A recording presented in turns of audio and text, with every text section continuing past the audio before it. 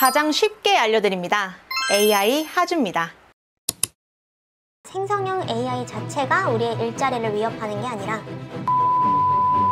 우리의 일자리를 위협하는 겁니다. AI가 너무 빨리 발전해서 불안하신가요?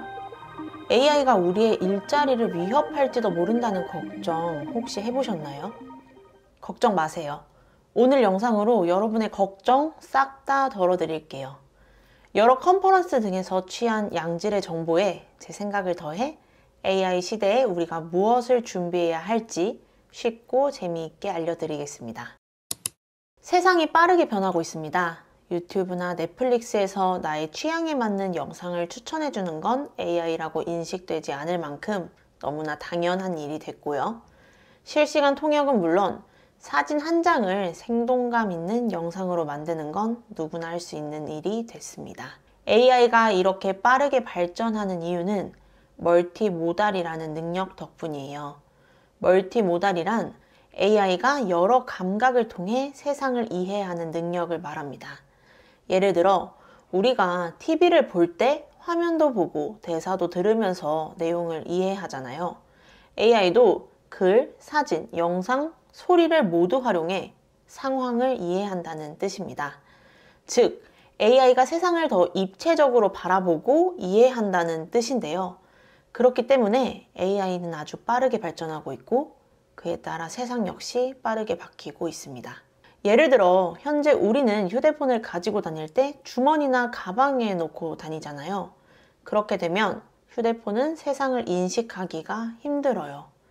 그렇기에 AI가 주변 환경을 더 잘 이해할 수 있는 방향으로 휴대폰의 형태도 변할 가능성이 큽니다. 예를 들어 smart glass나 wearable device처럼 항상 세상을 인식할 수 있는 형태로 발전할 수 있겠죠. 변화가 정확히 어떻게 될지는 모르지만 AI가 multimodal로 학습하는데 더 유리한 형태로 변화할 확률이 높습니다. 이런 식으로 우리 세상은 AI의 더 친화적인 형태로 변할 거예요. 그러니 AI로 인한 변화를 무시하는 것보단 빠르게 적응하는 게 더 유리하겠죠? 컨텐츠 얘기로 넘어가 보겠습니다. 요즘 생성형 AI로 만든 영상 많이 보셨을 텐데요. 불과 작년만 해도 매우 어색하던 AI 영상이 무서운 속도로 발전하고 있습니다. 코카콜라가 최근에 AI로 만든 광고를 공개하기도 했죠.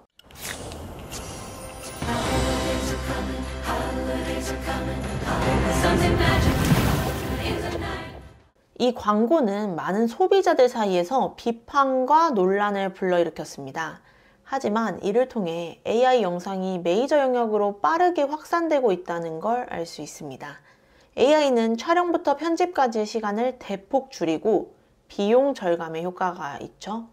덕분에 누구나 더 빠르고 쉽게 컨텐츠를 제작할 수 있습니다. 물론 AI를 활용한 영상의 어색함, 불쾌한 골짜기 등은 아직 존재합니다. 더불어 창작하는 사람들의 일자리를 너무나 빠르게 뺏어갈 수 있다는 점에서 우려되는 부분도 많습니다. 하지만 컨텐츠 분야 역시 다른 많은 분야들처럼 AI를 활용하는 형태로 나아갈 것입니다. 우려되는 부분들이 잘 해결되면서 AI가 적용되는 것이 가장 이상적인 형태겠죠. 그렇다면 생성형 AI 시대에 필요한 핵심 역량은 무엇이냐 많이 궁금하실 텐데요. AI는 대부분의 재미없는 일, 비슷한 일, 반복적인 일들을 아주 빠르게 잘합니다. 어떠한 정보를 모으거나 요청한 자료를 빠르게 생성하는 일에 탁월하죠. 그런데 그 명령을 내리기 위한 작은 아이디어, 즉 요리사의 킥 같은 역할은 인간이 해야 합니다. AI는 명령을 받은 만큼의 일만 할 수 있거든요. 물론 시간이 조금 지나면 1만 말해도 100만큼 알아듣고 알아서 다 할 수도 있어요. 하지만 그 1을 말할 사람이 필요합니다. 우리는 AI에게 1을 명확히 말할 줄 알아야 합니다. 앞으로 1을 말하는 사람이 되느냐, 아니면 뒤처지느냐는 우리의 선택에 달렸습니다. 생성형 AI가 우리의 일자리를 위협한다는 말 들어보셨을 거예요.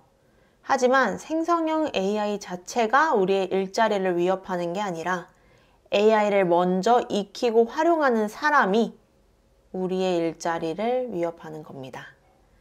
많은 분들이 아시다시피 현재 AI 관련하여 대기업들의 경쟁이 심하고 그에 따라 투자 역시 활발히 벌어지고 있습니다.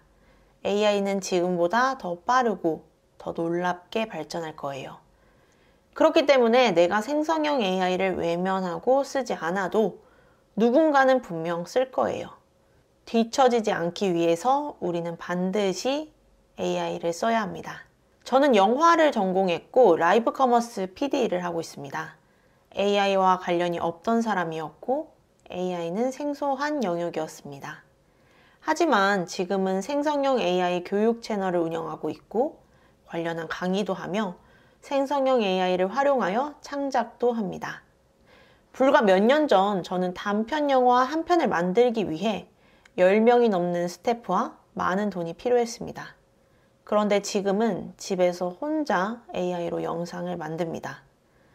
스태프와 돈 없이는 영상을 만들 수 없다고 생각했는데 그 생각이 바뀌었습니다. AI 덕분에 창작의 문턱이 낮아졌고 이제 누구나 쉽게 영상을 만들 수 있는 시대가 됐습니다. 저는 이제 궁금한 게 있으면 네이버나 구글 대신 챗 GPT에 먼저 묻습니다. 제가 궁금한 질문을 친구에게 물어보듯 대화형으로 편하게 물어봐도 너무나 찰떡 같은 답변을 주거든요. 처음에는 낯설었지만 익숙해지니 훨씬 편합니다. 문제는 낯설다라는 감정입니다. 우리는 낯설다는 감정에서 벗어나야 합니다. 우리가 다룰 AI는 전문가나 개발자 영역에서 다루는 어려운 AI가 아닙니다. 누구나 쉽게 사용할 수 있는 생성형 AI입니다. 앞으로 AI는 우리 생활 곳곳에 투입될 거예요. 그러니 AI 사용에 익숙해져야 합니다. AI를 두려워하지 말고 지금부터 조금씩 사용해 보세요. 제 영상 목록에서 관심 있는 것부터 하나씩 시도해 보세요. 가장 먼저 추천드리는 건 챗 GPT를 사용해 보는 겁니다. 지금 당장 휴대폰에 챗 GPT 어플부터 다운받는 거 어떠세요?